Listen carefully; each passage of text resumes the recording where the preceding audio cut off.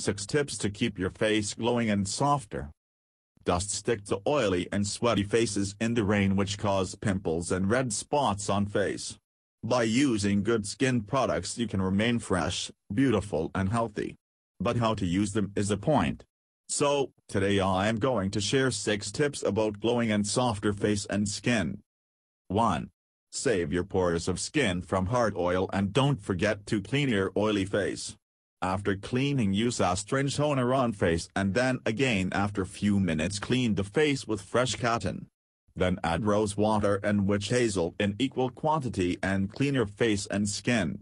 After some time you will see your face and skin starts glowing again. 2. If there are spot, pimples and rashes on your face then use medicated soap at least twice a day and wash your face with clean water 4 or 5 times a day. Use soft cotton clothes to clean face. You can use rose essence as a skin toner which not just clean the face it also maintain the balance of acid alkaline on face and skin.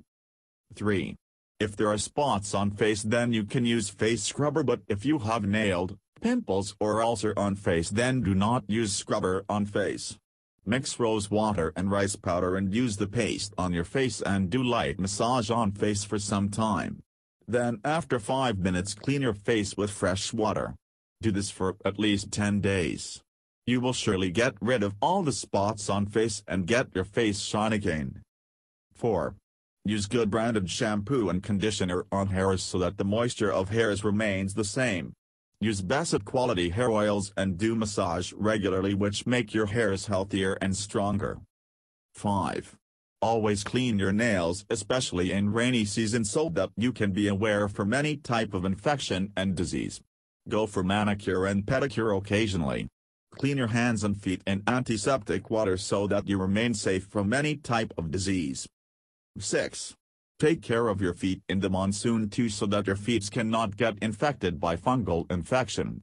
Wash your feet properly and use more talcum powder. Wear open footwear in the season of humidity and in hot seasons. By doing this your feet will not suffer from fungal infection.